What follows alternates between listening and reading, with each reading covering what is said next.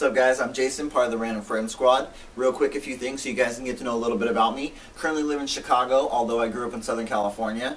I have an unhealthy obsession with cheese. Really, it, it's just it's just wrong. Driving in a car by myself, I may or may not freestyle rap. Kick and flow right here, driving down the street. Glad I got a car so I don't have to use my feet. So this week's topic is the holiday season. Christmas, New Year's, all that good stuff. This year went pretty good for me. I stayed in Chicago for the holiday season. We got a little bit of snow before Christmas, but it melted pretty quickly.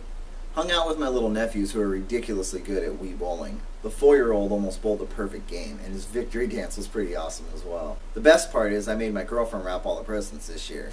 It's my least favorite part about Christmas, and for some reason, I'm absolutely terrible at it.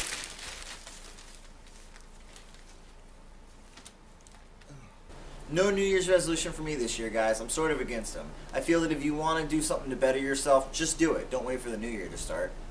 Alright guys, that's it for me this week. Just want to say I'm glad to be a part of the Random Friend Squad, and I look forward to making videos for you guys each and every week. Peace!